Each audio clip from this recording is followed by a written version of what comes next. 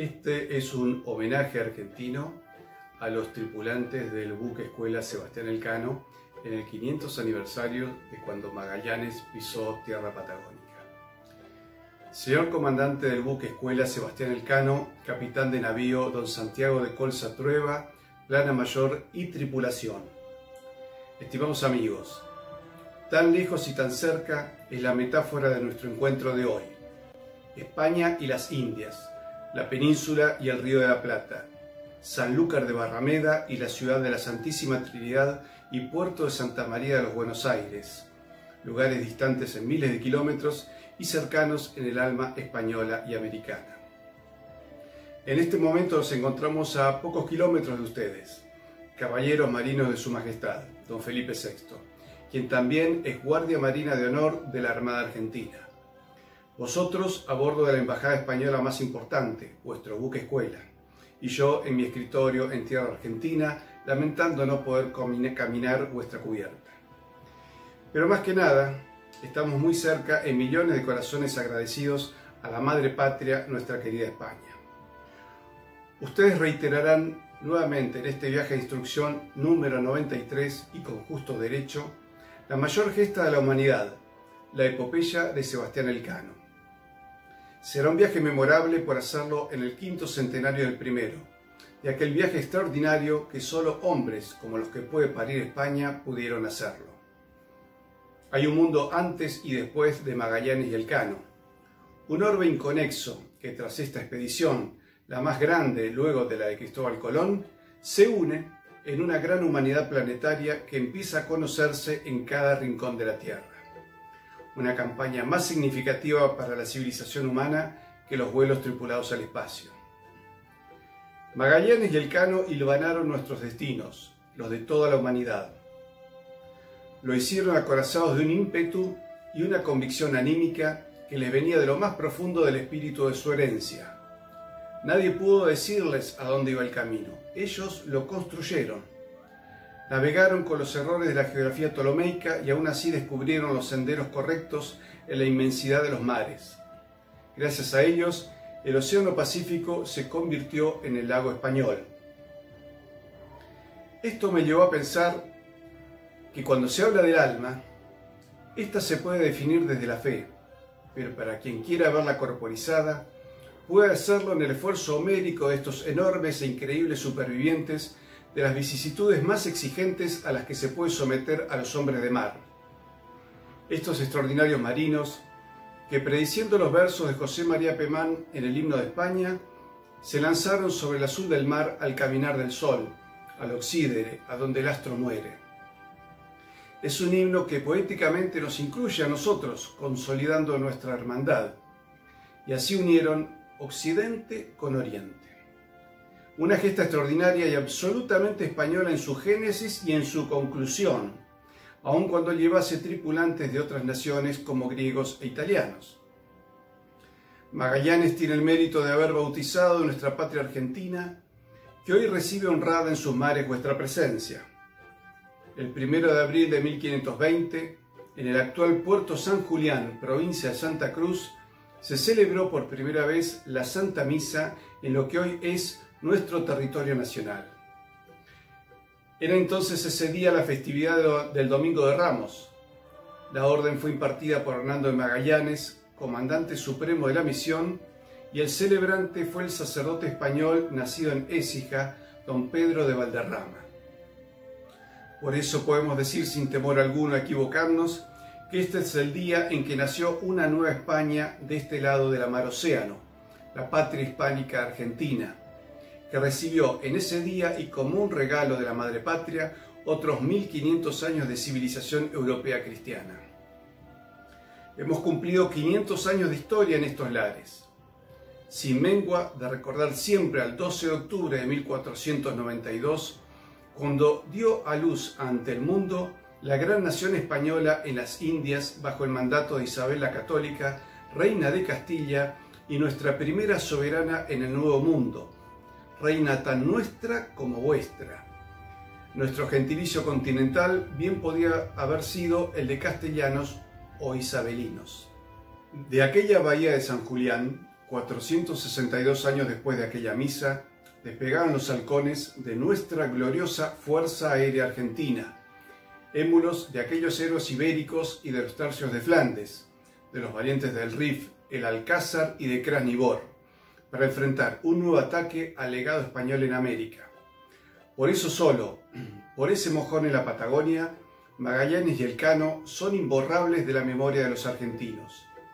Por favor, recuerden esto en cada viaje de vuestro buque escuela cada vez que pasen por aquellas aguas. En 1982, el primer caído en combate también fue marino, el capitán de corveta Infantería de Marina Pedro Edgardo Giaquino Rearte, que haciendo honor al coraje legado por don Juan de Austria al saltar sobre las naves otomanas en Lepanto, este joven oficial saltó a la conquista de la casa del gobernador inglés convertida en ese momento en fortaleza. En mi caso particular, tengo el honor de que mis dos hermanos mayores, Luis y Guillermo Lons, participaron como oficiales navales de aquella guerra y que lo hicieron con el mismo espíritu de marinos legendarios como Luis de Córdoba, Álvaro de Bazán, Blas de Leso en Cartagena de Indias en 1741 y de Santiago de Liniers en Buenos Aires en 1806 y 1807 todos victoriosos contra Inglaterra, la que solo nos puede ganar en el cine, pero no en combate. Además, un antepasado mío alemán falleció en la batalla de las Malvinas de diciembre de 1914 como oficial de la flota de Su Majestad Imperial el Kaiser. Como verán, los vientos marinos son parte de mi historia familiar, y siempre contra nuestro enemigo común británico, quien siempre temblará ante un tercio español o un aviador argentino recién confesados. Nuestra historia es continuidad de aquel fabuloso, extraordinario imperio español que durante tres siglos trajo paz, desarrollo y prosperidad a estas tierras. Por eso quiero agradecer muy especialmente a los tripulantes del buque Escuela Español Sebastián Elcano el sentido homenaje que vuestra nave le hiciera a los 44 tripulantes del submarino Ara San Juan, caídos en cumplimiento del deber en el año 2017, correspondiendo así con vuestra camaradería a la participación de la Marina Argentina con los buques Tucumán y 25 de Mayo en el rescate de 1.491 españoles en el puerto de Alicante entre agosto de 1936 y junio de 1937, cuando se empezaba a teñir de rojo la piel de toro. España sobrevivió una vez más después de la tragedia y demostró la fortaleza de su civilización. Aquella civilización que construyó un mundo, otra España entera en estas tierras, la que nos trajo el orden romano, la filosofía griega y la fe de Tierra Santa de la mano del coraje numantino español. Por eso decía el padre Castañeda en Buenos Aires allá por 1810, por Castilla fuimos gente.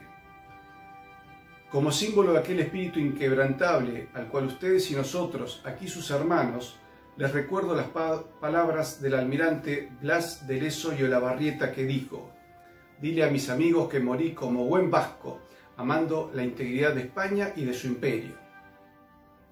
Queridos marinos españoles, recuerden siempre donde vayan y en cada acto de sus vidas que ustedes son los mejores soldados de la cristiandad como los calificó el conde de Leicester, enemigo inglés de los tercios de Alejandro Farnesio. Compartimos con ustedes sangre, lengua, fe, civilización y enemigos. Y a la Inmaculada Concepción de la Virgen María, patrona de las infanterías de España y Argentina, y de cuyo manto que impregna la Orden de Carlos III, fundador del Virreinato del Río de la Plata ya por 1776, tomamos sus colores para nuestra bandera en 1812. Por eso, de alguna manera, en el milagro de Empel en Flandes, cuando esta devoción mariana se encarnó en los infantes españoles, nació nuestro espíritu de fidelidad a España que tenemos los argentinos de bien.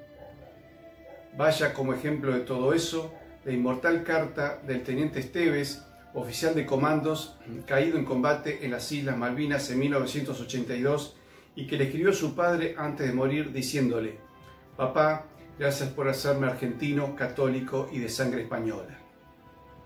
Frase que en pocas palabras unió a la bandera argentina con la roja igualda y con las victorias militares en mares y tierras de la gloriosa Aspa de Borgoña, bandera oficial en cinco regimientos del ejército argentino, entre ellos el regimiento Patricios, cuyo abanderado todavía hoy porta esta bandera y su banda desfila al compás de marcha granadera pase del himno de España. También es bandera oficial de Chuquisaca en Bolivia, de Chiloé en el sur de Chile, además de serlo en Alabama y Florida, territorios antiguamente españoles de los actuales Estados Unidos. Les agradezco vuestra atención y para despedirme les pido lo siguiente.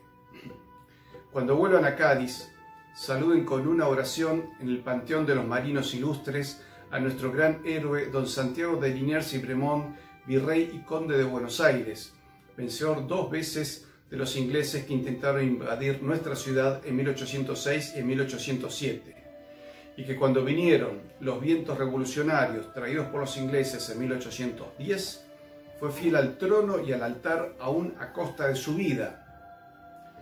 Fue fusilado por los revolucionarios criollos que en grado sumo de desagradecimiento lo enviaron a matar, y quienes jalaron el gatillo fueron fusileros ingleses que habían quedado en Buenos Aires desde 1807, ayudando en el complot para romper a España en América.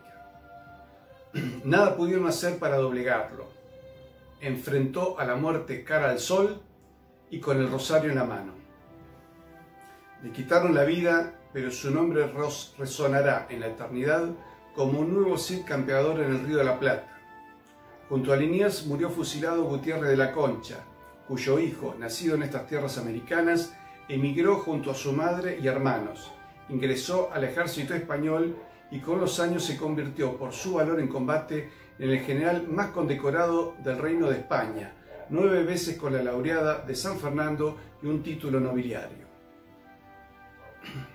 Caballeros del mar, todos aquellos honorables y ejemplares marinos y soldados que nombré, verdaderos caudillos de vuestra raza, ya rindieron cuentas a Dios y hacen guardia por nosotros sobre los luceros.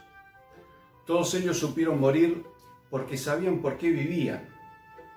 Por eso, a los muertos por la patria hay que dejarlos descansar en sus mausoleos y no profanarlos en sus tumbas. Por todos los valientes muertos por Dios y por España, por nuestra historia común y nuestros emblemas y héroes compartidos, por Gibraltar y Malvinas, Viva España, viva Argentina. Que la Virgen Stella Maris, patrona de los navegantes, los cubra con su manto. Muchas gracias.